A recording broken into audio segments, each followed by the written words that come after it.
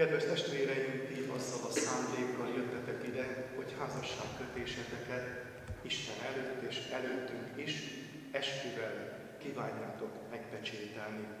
Ezért szeretettel kérlek benneteket, hogy forduljatok egymás felé, fogjátok meg egymás jobb kezét, a gyülekezetet kérem álljon fel, és mondjátok el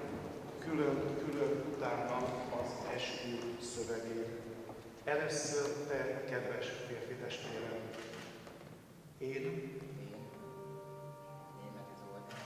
Esküszöm az élő Istenre, Esküszöm az élő Istenre, aki Atya, Fiú, Szentlélek, aki Atya, Fiú, Szentlélek, teljes szent háromság, teljes háromság, egy örök Isten, egy örök Isten, hogy Gabriellát, hogy Gabriella, akinek most Isten színe előtt akinek most Isten színe, kezét fogom, kezét fogom, szeretem.